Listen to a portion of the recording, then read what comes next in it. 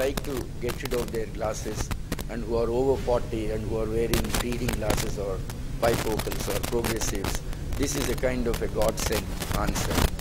But I should warn you that everybody will not be suitable for this procedure. We doctors have to decide who is suitable and who is not suitable. And then also pricing, there are four different techniques with this. Price also varies from a lakh of rupees to two lakhs of rupees, depending on the power, depending on the various other consumables that we need to use. The procedure takes about um, uh, 20 seconds is the actual laser procedure, but preparation takes maybe 5-10 minutes and you do, you do need about a day's rest. There are no operations without complications and side effects, but it is our duty to see that these things don't come.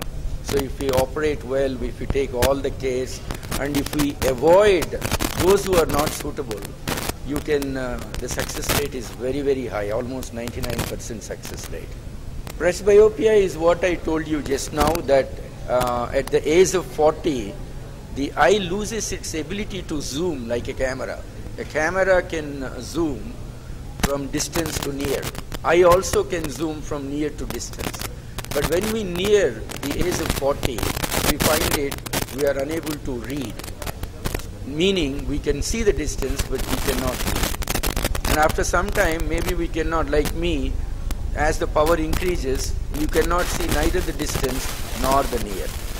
So, for all those people, this Intracor and